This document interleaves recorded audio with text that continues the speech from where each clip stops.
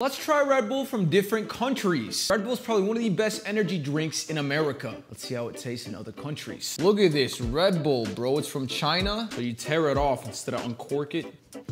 Kind of tastes the same, just a little flatter. This is Red Bull, but not carbonated. This is such a cool can. Kinda like it a little bit better. We got purple acai from Canada. Damn, that tastes insanely good. Oh, Oh my God, that's good as This tastes like a Sour Patch Kid. 26 grams of sugar? Y'all Canadians be wildin' out. Now we got another China Red Bull. Doesn't help that I can't read any of this. I don't even know what I'm consuming. Damn, my heart rate is going through the roof right now. It's a lot of Red Bull, a lot of caffeine. Y'all trying to get some exotic Red Bull? Bussin Snacks got your back.